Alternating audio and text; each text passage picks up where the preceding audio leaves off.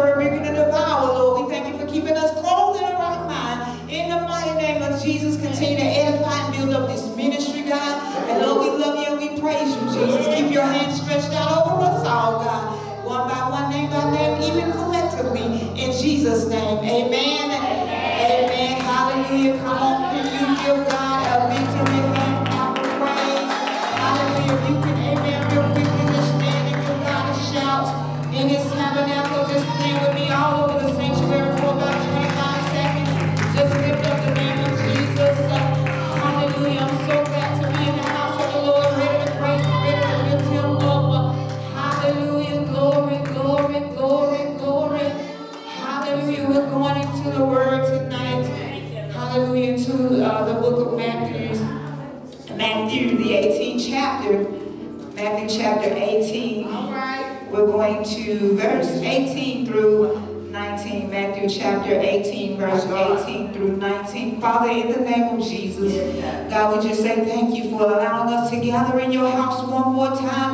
hear your word, to God, receive more understanding, God, to get another seed of faith, God, on the inside of us, God. I ask you to, good, God, just continue to speak your word like only you can speak it, God. I just stand, God, as an empty vessel, asking you to flow through me, to pour out your word through me, God, let every ear hear, every heart receive.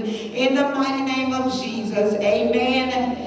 Amen. Matthew 18 and 18 through 19, and the word reads, Verily I say unto you, Whatsoever ye shall bind on earth shall be bound in heaven, and whatsoever ye shall loose on earth shall be loosed in heaven. Again, I say unto you that if two of you, Sister Princess, shall agree on earth as touching anything that they shall ask, it shall be done for them of my Father which is in heaven. Amen. You may be seated in the presence of the Lord. I, hallelujah. Thank God for the word, the reading of the word, the hearing of the word, the, the doing of his word. I was in prayer, saints, and I was wondering and asking God, why is it that we, that the church struggle in certain areas of getting the victory, Sister Veronica? And I'm not talking about the victory, whereas it's short term, but I'm talking about a, a total victory, not a temporary fix for a permanent situation, but I'm talking about that victory like David had when he slew Goliath. We didn't see Goliath coming up to fight David anymore. I'm talking about that victory that Hannah received when she was able to run on in the Lord and sing her song because she knew she no longer had to deal with Peninnah. I, I want to use for a title to tonight's message, Call It Out. We got to call it out. I'm ready for us to receive the total victory that God says that the church can have. Verily I say unto you, whatsoever ye shall bind on earth shall be bound in heaven, and whatsoever ye shall loose on earth shall be loosed in heaven. God, why do we operate in the church with so much power, but yet on a temporary high? We go okay for a minute, and then a week later we back the same. We we go through one day, and then uh, the next day we get the victory, but yet then the next week come one day we deliver, the next would not deliver. And I'm saying, God, why is same enemy keep doing the same thing over and over again to the church, to us in the body of Christ? Why is it in the church? I mean, has anybody ever wondered why stuff keep popping back up? I know it's the trial of our faith, and as the, the saints, we're going to go through Kiara. We're going to experience some things, and the enemy is going to try us on every hand. But my question to the Lord was, why is it the same stuff over and over and over again? Why can we be uh, uh, happily married today or getting ready to get married tomorrow, and then the enemy show up? Or why is there a lack of commitment to be steady in our victory in our walk of Christ? Uh, God says, I need you to tell the people to just begin to call some things out. For whatsoever you shall bind on earth shall be bound in heaven, and whatsoever ye shall loose on earth shall be loosed in heaven. Again, I say unto you that if two of you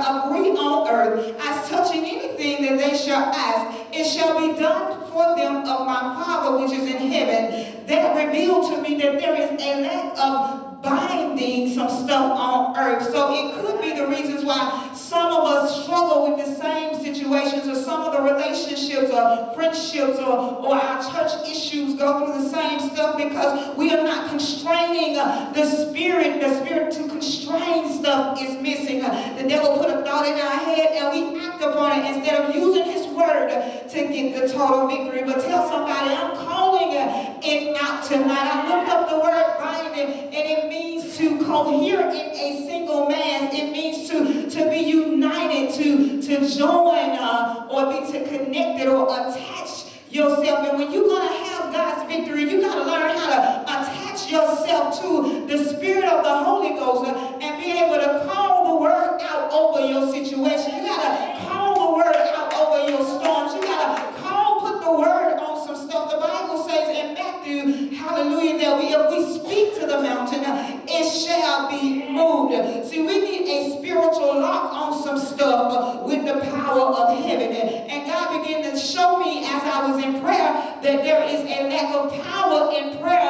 because we're not calling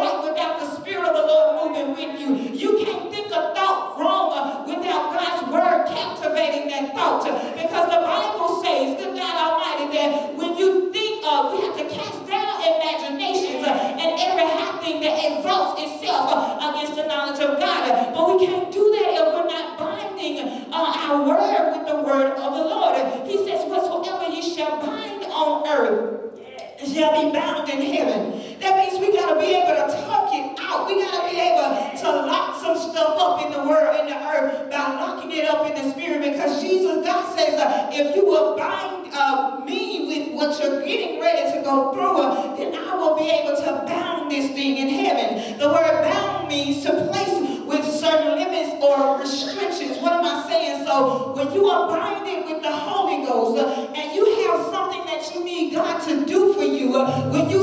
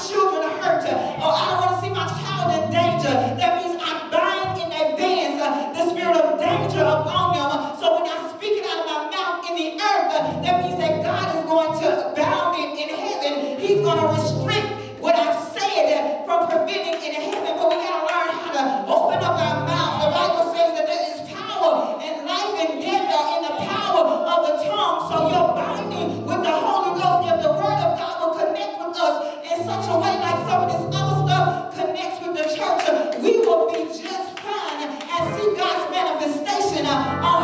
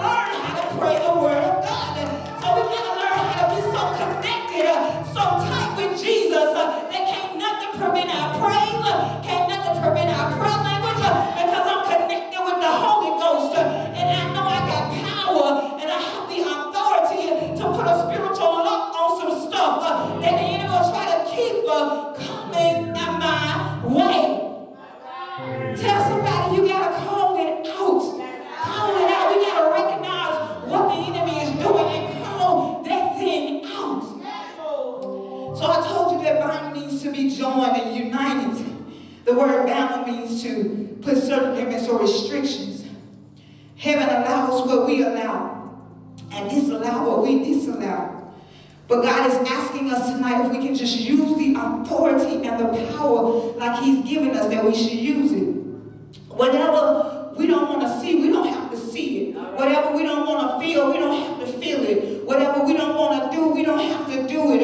But the Bible says you got to learn how to bind and let God bound it. Whatsoever you shall bind on earth shall be bound in heaven. And whatsoever ye shall loose on earth shall be loosed in heaven. See, by the same authority that we have the ability to stop the works of the enemy, is by the same authority that we have the ability to loose some stuff from heaven. It's by that same authority that we can stop and start uh, things to happen in our life. Why are we struggling? That brings me back to the question. Why do we continue to go through the same thing over and over again? I want to talk about some couple, a couple things that we need to call it out, and we're going to be done in the Word tonight. Yes. The first one is we got to decree. Tell somebody, decree it. Decree it. Means you got to order it to be so. Order it to be so. You got to decree a thing. The Bible says in Job that thou shalt decree a thing, and it shall be established. But again, this goes back to knowing where your authority is in the Word of God, knowing what you have access to in the Word of God, knowing the power that God has given us to operate in the earth. You got to learn how to decree a, thing, means to bring it to form, bring it to order. Not only decree, but double up. Princess was talking about it. Again, I say unto you that if two of you shall agree on earth as touching anything that they shall ask, it shall be done for them of my Father which is in heaven. See, a lot of times, Princess, we are not doubling up. We are not joining not just with the Word or with the Holy Ghost, but we don't have real prayer partners that we can call on to touch and agree with to say, I need you to go into prayer with me concerning this thing. But the Bible says that if any two of you, see, it don't take a whole army, amen, to get your breakthrough. It don't take, amen, a whole, all the Bible talks about was Gideon All it takes is just two or three. Wherever two or three are gathered in his name, there is he in the midst. God can do exploits. God can do exceedingly and abundantly above all that we're able to ask or think just by the power of two. All you need is you and the Holy Ghost. All you need is you and your prayer partner. Or all you need is you and your pastor. All you need is you and another saint to be able to touch and agree. But a lot of times we keep stuff to ourselves. We close our mouths when the enemy uh, wants us to shut up when we need to be speaking. Uh, the enemy wants you to pray. Uh, that God wants you to pray when the enemy wants you to be in messy. But you got to learn how to know when to speak uh, and when to double up. Sometimes you got to call in those that God has equipped with the power and the anointing of prayer. The Bible says, if any two of you shall agree on earth as touching anything. So that goes back to the question, what are we lacking and why are we lacking with we're touching and agreeing? But if we don't double up according to the word, and we don't get together with the word of God, we can't see the power of God manifesting for the church. So not only do we decree it, not only do we double up, but then we got to demand. I used to wonder why my grandmother would walk around the house uh, demanding and commanding. She was like, I mean, I command you, devil, in the name of Jesus, to uh, loose my child. She would pray for my mother. She would pray for us. She would pray over her house. She would pray, amen, over my great grandmother's job. She would pray for her. I mean, it was. I was wondering, why is she doing all of this commitment? Why is she walking around the house, hmm, in the spirit? What, what is she doing? But I understand now that I've got more in this word. She was making a command on heaven. She was demanding her house be in order. She was demanding her family or, or making a command on heaven uh, to have things operated decently and in order. And it had to be in line with what the word of God says. So she was calling it out. That means everything that she didn't want to see happening uh, when the enemy started coming in and, and fighting and doing this and doing that, causing disruption and discord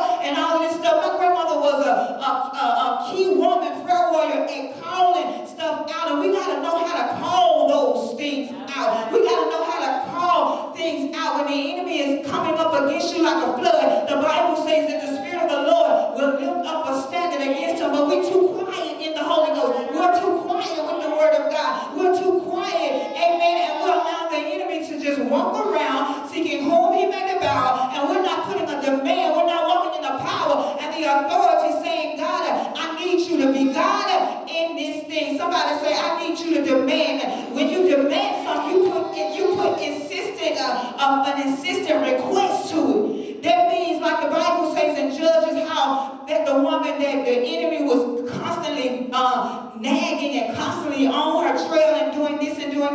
The Bible says she kept on coming before the judge. And that's how we have to learn how to do, even when God, it seems like God ain't answered our prayer yet. You got to learn how to still demand and still command. And sometimes we give up too easily and we give up too quick. But you got to learn how to be consistent in your prayer life. Be persistent with your calling on the name of Jesus. Be persistent instant uh, when you're calling those things as not as not as though they were. Tell somebody you gotta call it out, and somebody is waiting on your language. Uh, they're waiting on your prayer. They're waiting on you to be in agreement. Uh, they're waiting on the church to get together to call on the name of Jesus uh, and call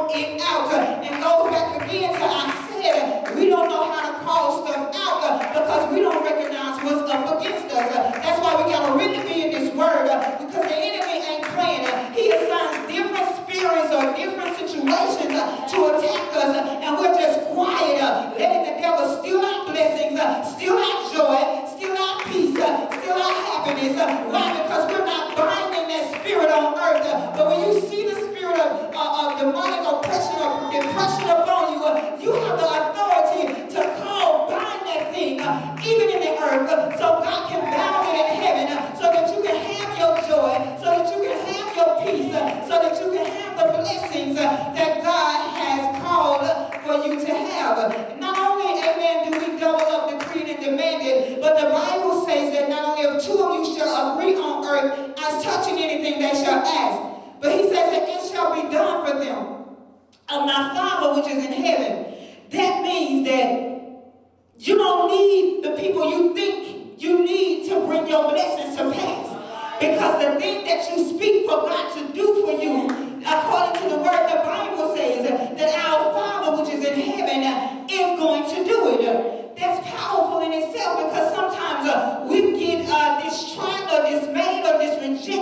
because, amen, the people that we're counting on are dependent